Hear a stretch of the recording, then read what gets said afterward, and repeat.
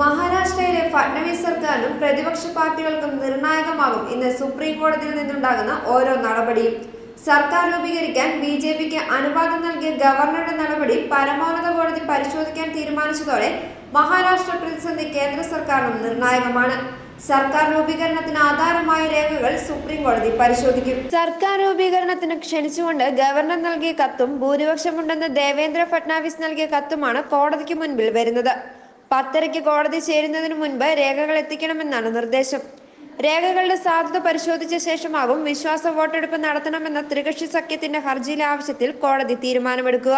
ഭൂരിപക്ഷം തെളിയിക്കാൻ മൂന്ന് ദിവസത്തെ സാവകാശം വേണമെന്ന ബി ജെ പി ആവശ്യം തള്ളിക്കൊണ്ടാണ് സർക്കാർ രൂപീകരണത്തിന് ആധാരമാക്കിയ രേഖകൾ ഹാജരാക്കാൻ സുപ്രീം കോടതി നിർദ്ദേശം നൽകിയത്. കേസിലെ മുഴുവൻ കക്ഷികൾക്കും നോട്ടീസ് അയക്കുകയും ചെയ്തിട്ടുണ്ട്. ജസ്റ്റിസുമാരായ എൻ വി രമണ അശോക് ഭൂഷൺ സഞ്ജീവ് ഖന്ന എന്നിവരടങ്ങുന്ന ബെഞ്ചാണ് കേസ് പരിഗണിക്കുന്നത്. ദേവേന്ദ്ര ഫഡ്നാവിസ് സർക്കാരിന് സത്യപ്രതിജ്ഞ ചെയ്യാൻ അനുമതി നൽകിയ ഗവർണറുടെ നടപടി റദ്ദു ചെയ്യുക. ഇരുപത്തിനാല് മണിക്കൂറിനകം വിശ്വാസ വോട്ടെടുപ്പ് നടത്താൻ ഉത്തരവിടുക തുടങ്ങിയ ആവശ്യങ്ങൾ ഉന്നയിച്ചാണ് Shiv Sena N C P Congress സഖ്യം സുപ്രീം കോടതിയെ സമീപിച്ചത്. ഗവർണറുടെ അധികാരം സംബന്ധിച്ച കാര്യങ്ങൾ പരിഗണിക്കുന്നില്ലെന്ന് വ്യക്തമാക്കിയ കോടതി വിശ്വാസ വോട്ടെടുപ്പ് മാത്രമേ മുൻപിലുള്ളൂവെന്ന് വ്യക്തമാക്കിയിട്ടുണ്ട്.